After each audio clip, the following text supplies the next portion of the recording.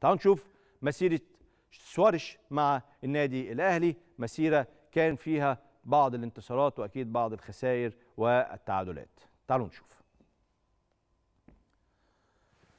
سواريش تولى تدريب النادي الأهلي 1 يوليو 2022 وقضى مع الفريق 60 يوما حتى تمت إقالته اليوم الأربعاء 31 أو شهرين بس.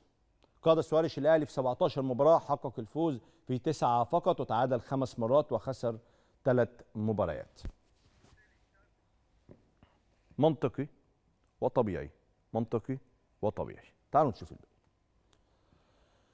في 2 يوليو الأهلي فاز على بتروجيت 2-0 في نصف نهائي كأس مصر و5 يوليو الجونة والنادي الأهلي تعادلا سلبيا وبعد كده الأهلي فاز على فيوتشر 4-0 وخسر من بيراميدز 2-0 وخسر من الزمالك 2-1 في نهائي كأس مصر 2020 2021 نشوف اللي بعده. بعد كده فاز على الجونة 2-0 وفاز على المقصة 1-0 وتعادل سلبيا مع المقاولون العرب وتعادل سلبيا مع فاركو بعد كده كسب الاتحاد 3-0 وفاز على المصري 2-0 وفاز على المقصة في دور ال 16 من كأس مصر 1-0 بصعوبة في اللحظات الأخيرة.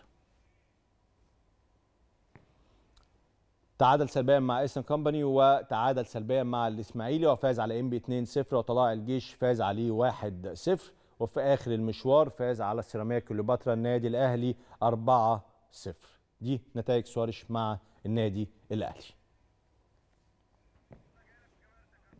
دي الحكاية بتاعت سواريش.